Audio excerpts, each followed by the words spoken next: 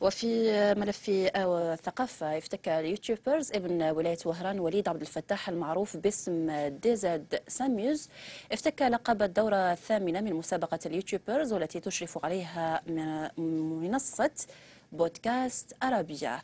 كان من بين لجنة تحكيم هذه الدورة الإعلامي بقناة نوميديا مصطفى زيتين.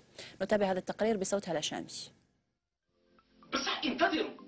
ما غاديش نحكي على كل البرامج. غادي نحكي على زوج برامج كنت متشوق وليد عبد الفتاح المعروف بديزاد ساموس بطل الطبعة الثامنة من مسابقة اليوتيوبرز التي تشرف عليها أول منصة إلكترونية تشجع المحتوى العربي بودكاست أرابيا. فاتوا سبع دورات وشاركت في الدورة الثامنة وكلاسيتها في المرتبة الأولى. الحمد لله.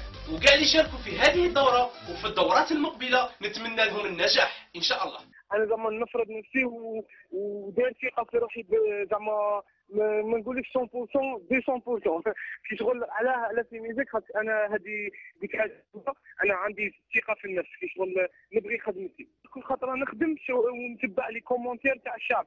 les commentaires تاع les fans هكا في اليوتيوب كل كل ما زعما يقولوا لي حاجة commentaire نزيد نطورها في الفيديو الآخر نزيد نطور. السوجي تاع اليوم راح يهضر على المسلسلات الرمضانيه في الجزائر.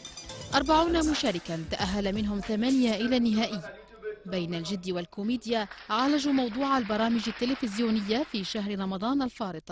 فيما كان من بين لجنة تحكيم هذه الطبعة. أهلا بكم يباشر المجلس. الإعلامي بقناة يوميديا مصطفى زيتين.